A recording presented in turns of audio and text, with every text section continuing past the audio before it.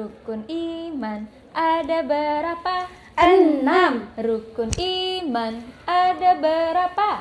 enam percaya pada Allah kedua malaikat ketiga kitab-kitab keempat rasul-rasul kelima hari kiamat keenam kodar dan kodar itulah rukun iman iman Assalamualaikum warahmatullahi wabarakatuh. Sobahal khair. Kaifal hal? Selamat pagi anak-anak. Bagaimana kabarnya pagi hari ini? Semoga anak-anakku sehat dan baik-baik saja ya. Amin.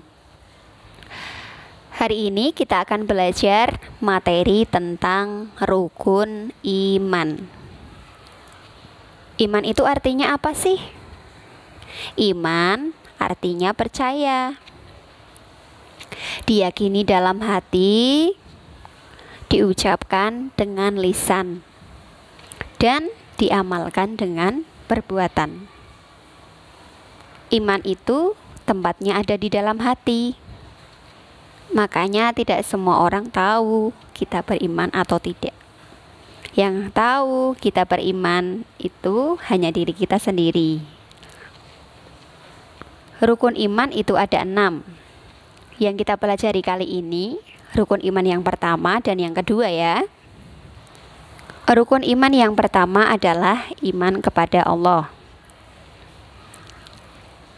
Kita percaya bahwa Allah itu ah, ada.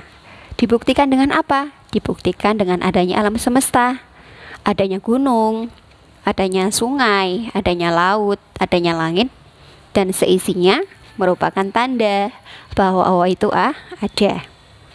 Kita harus percaya, kita harus beriman kalau Allah itu ah ada. Karena percaya kepada Allah termasuk rukun iman yang pertama. Rukun iman yang kedua adalah iman kepada malaikat. Malaikat diciptakan dari nur atau cahaya.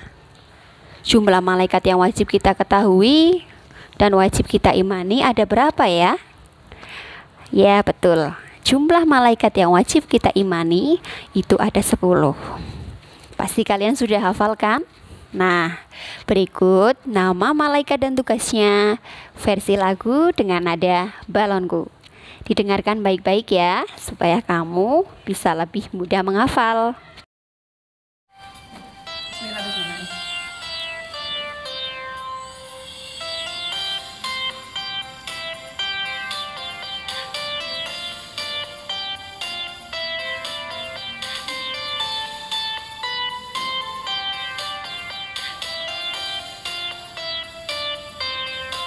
Malaikat ada sepuluh. Nama dan tugasnya berbeda. Jibril menyampaikan wahyu. Mikail membagi rizki. Israfil meniup sangkakala. Israel mencabut nyawa. Mungkar bertanya di dalam kubur.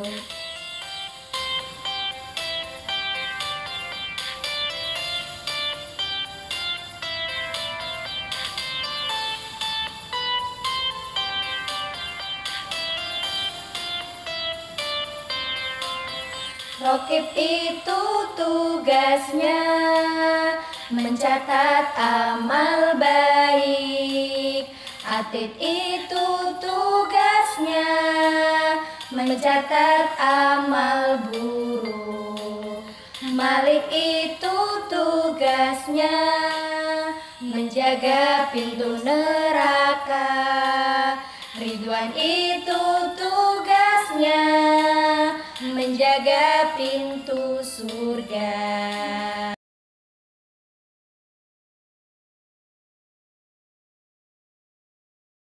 Nah, bagaimana? Lagunya mudah bukan? Setelah tadi Bu Rizky menjelaskan materi tentang rukun iman dan menghafal bersama lagu malaikat dan tugasnya, jangan lupa di rumah dipelajari ya materi hari ini. Jangan lupa juga untuk mengerjakan LK yang sudah Bu Guru bagikan ya. Demikian materi hari ini. Bu Guru akhiri. Wassalamualaikum warahmatullahi wabarakatuh.